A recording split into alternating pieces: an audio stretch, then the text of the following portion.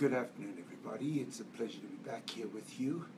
Today, uh, we'll be talking on this live Facebook feed on how many times should people be prepared to do IVF? How many times is enough? How many times is too much?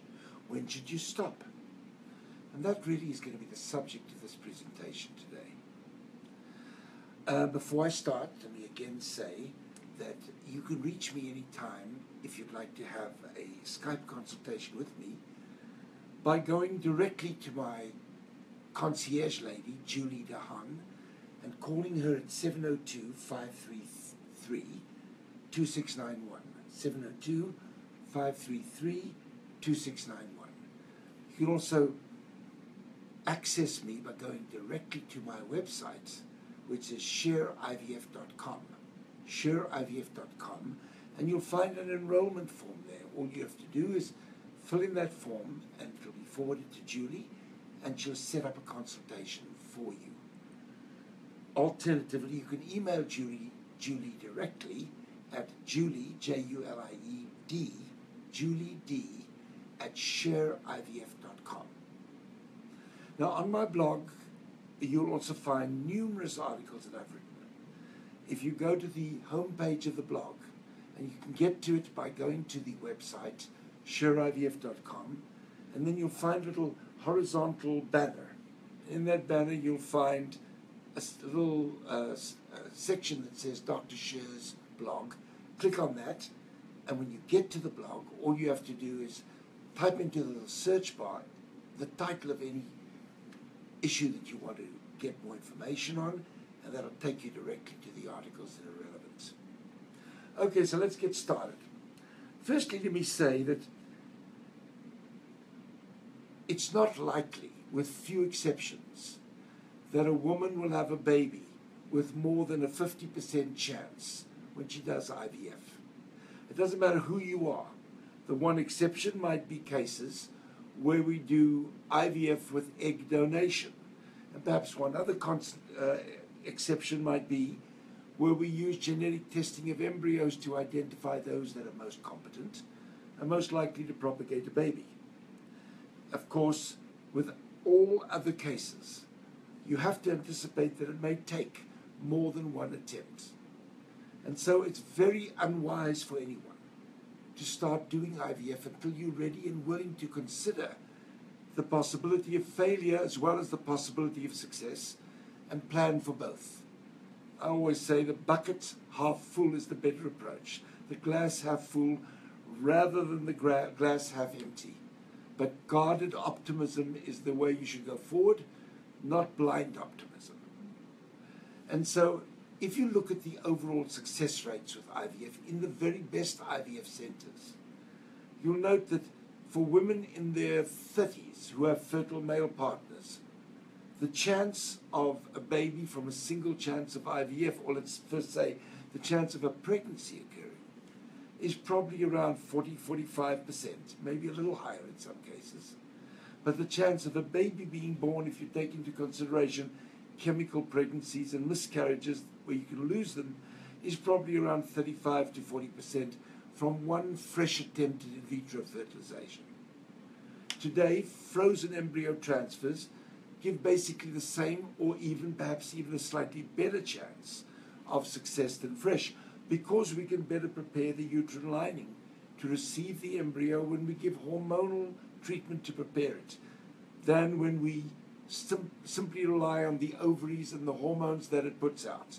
Oftentimes, the mixture, the combination is not optimal. So, fresh and frozen embryo transfers can be viewed as giving an equal chance of success. But not everybody is going to produce enough embryos for more than one try. It very much depends on your age, it depends upon the cause of the infertility, but most importantly, it's going to depend on the, on the ovarian reserve, how many eggs the woman's got left. And that we measure by doing an AMH anti-Mullerian hormone test any time in the cycle. But if we get to put back at least one or two blastocysts, then the overall chance of a woman having a baby within three comprehensive IVF attempts, and please let me define this clearly. That means as many egg retrievals and embryo transfers. Oh, so let me go back. As many egg retrievals and embryo transfers that will result from an attempt. In other words, if you do one egg retrieval, but there are enough embryos to do two additional transfers aside from the fresh transfer in that particular cycle, that comprises one comprehensive attempt. And if you get access to up to three IVF attempts, then women in their 30s should certainly have about 80 to 85% chance of giving birth to a baby. And we get to this number by what we call a regression analysis. A 100 women go in, 35 roughly end up having a baby from the first attempt. Roughly half will have enough embryos to try yet another attempt. And then of those that try a second time, another 35% of those will have a baby. And some will even have a chance to do a third attempt, and 35% of those that have that opportunity will have a baby. So that within one comprehensive attempt, the overall chance of a baby may be higher than 35%. It may be 40 to 45% of having a baby, but within three such comprehensive attempts, over 85% will have a baby. For women in their 40s, that number is roughly halved, halved across the board. And as I said earlier, it's probably much higher in cases of IVF with egg donation or IVF when we only replace embryos that have been genetically tested through pre implantation genetic screening, PGS. And so selectively, we put back only those that are the most competent. So those are the numbers, and this explains why it's important to have a very clear perspective of what you're getting into when you do IVF. Now, there are certain things that make the chance of success greater or less. I've already identified two important ones. The one is the age of the woman, because that's going to impact the quality of her eggs. And the other one is going to be her ovarian reserve. How many eggs are left? and the third in her ovaries, and the third one, of course, is going to be the competency of the husband's sperm. Of course, there's another fourth one which you have to add on, and that's the competency of the center that you go into. How good is the laboratory? How good are the doctors and the people providing the service? Because certainly the protocol used for ovarian stimulation is a critical factor in determining the quality of the eggs that you ultimately harvest and therefore the quality of the embryos available for transfer.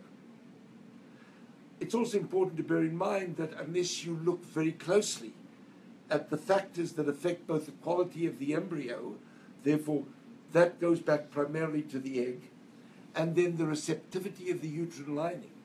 You have to look at both of them, where the embryo represents the seed you're planting, and the lining the soil in which you're planting that seed. You have to have a receptive soil and you also have to have a competent seed. You can't put a good seed in a bad soil or a bad seed in a good soil. And then the person planting the seed, the doctor doing the transfer of the embryos to uterus, has to A, plant the seed in the right season. That means there has to be ideal circumstances created to do the transfer and has to do it delicately and with precision. If you do all those things, you have an optimal setting but it will differ from center to center because everybody needs to bear in mind going into IVF that it is much more complex than people recognize. And it's very important to see it as a art science blend.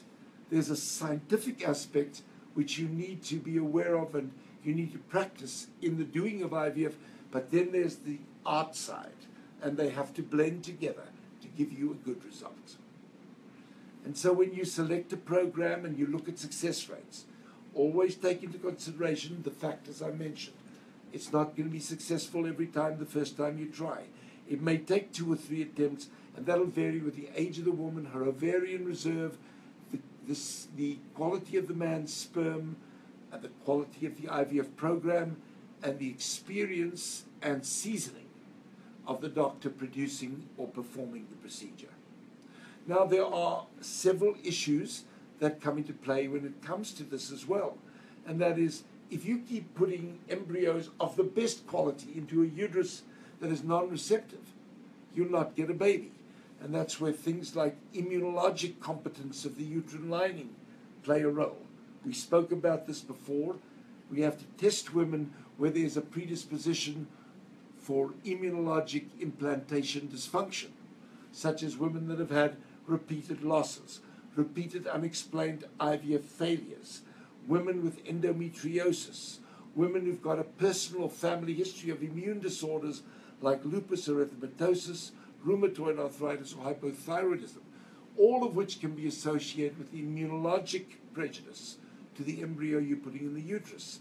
And that has to be carefully evaluated and properly addressed and treated, as I've put in my blogs that I've posted, and also in one or more of these previous feeds on the issue of implantation.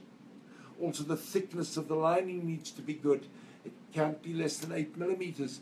I never put embryos into a uterus with the thickness of the lining on the day of the egg retrieval or the day of the transfer, uh, sorry, or, or the day of maximal estrogen preparation for a frozen transfer is less than 8 millimeters.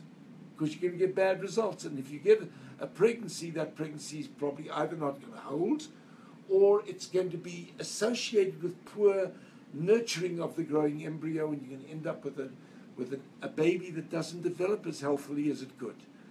Remember, the objective of what we do is not to just get a pregnancy at any cost. Our objective is to get a healthy baby that has optimal potential for subsequent intellectual and physical development after birth and contribution to life. So, this is where we're headed. And when we keep these things in mind, it's important to bear in mind that when you do the transfer to the uterus, that the uterine, that the uterus's receptivity, the implantation process, is in place. When it comes to the embryos and their competency, there are many ways to determine that. Obviously, an embryo, the fertilized egg, that fails to develop in five to six days to the advanced blastocyst stage development, where it's over 100 cells, is almost always genetically chromosomally incompetent. And you don't want it anyway. And that's why it's my policy to only put back embryos that are able to demonstrate an ability to reach the expanded blastocyst stage by no later than day six. You can take it a step further because even those embryos that make it aren't necessarily normal. They, of course, are the ones more likely to be normal. If you start with 10 eggs, you may end up only with two or three blastocysts. But it, and that is because many of those that were abnormal were lost or culled out along the way. So putting back the blastocysts gives you the best potential for uh, having chosen the right embryo based upon its appearance. But beyond its appearance, you need to realize that embryos can look perfect, and yet at the same time, they can be genetically or chromosomally abnormal. And that's where this process of doing chromosomal testing of the embryo, or we what we call karyotyping, or what I referred to earlier on as PGS, can be done. Today, we use a method known as next generation gene sequencing for identifying the best possible blastocysts. Those are the most potential. And those are the ones we selectively put back. So, what we then do is we stimulate the woman, remove her eggs, fertilize them, and when they reach the blastocyst stage, we biopsy the embryos. And we send away the DNA for testing. This allows us to tell which ones are the best quality and the most likely to make a baby. Now, the older a woman gets and the lower her ovarian reserve becomes, the less likely it is that we're going to get enough embryos to, to, to warrant doing the transfer. We may not even get any that meet, meet the test of being perfectly chromosomally normal. And in those cases, all we can do is repeat the IVF retrievals to try to stockpile and collect more embryos over time. We give, we stimulate the woman, we remove the eggs, we make the embryos, we biopsy the embryos. And if none of them make it to blastocyst, we go on and skip a month and do another cycle. And the goal is to try to get at least six blastocysts before we test them all once by having biopsied them in advance and have kept the biopsied DNA material. We then can send them all away for a single test and save the financial cost of having to do the genetic testing over and over. We call this embryo banking or stockpiling and selectively placing back embryos that are PGS normal. If we use that approach, we get better results. But here's a word of caution. This type of process of doing PGS, PGS testing is not necessary for everyone. It's only for women that are older where the number or percentage of eggs that are going to be normal is less, and therefore the percentage of embryos are going to be less. Or for women with unexplained repeated IVF failure. Or for women that uh, we know are predisposed to certain chromosomal abnormalities. So it's wrong, in my opinion, to use this expensive additional testing in all women simply because it gives you uh, uh, a better ability to select the good ones. In a young woman, one out of every two blastocysts is going to be normal anyway. Why not just put in two? And you've got just as good a chance as if you'd put in a normal one. So, in my opinion, PGS testing is overused at the moment. Some programs do it on everybody, and I think it's wrong. I think it needs to be done only on those people where it's medically indicated. So, this gives you an overview of the whole issue of how many times should you try. In summary, you've got to go into it expecting, hoping that you only, can, that you only need one attempt, but expecting that in the majority of cases it's going to take more than one attempt. And in cases where you're not going to, where there's a, a prejudice as to the quality of the eggs, you've got to then consider doing the genetic testing through PGS that I mentioned. If you take a rational approach to entering into an, the IVF journey and you think about it this way, you'll save a lot of heartache. It's far better to know what you're getting into than to go in blindly with the expectation, oh, it's just bound to work, or to be given false promises and then have false expectations.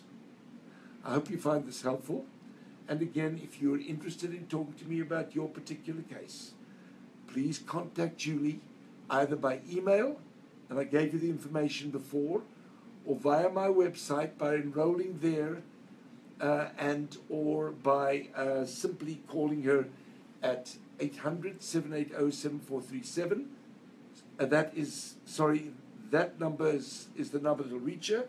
For those of you that live out of country and won't be able to reach her at the 800 number, those of you in Canada or outside the United States anywhere, can reach her at 702 533 2691. Thank you and have a wonderful day.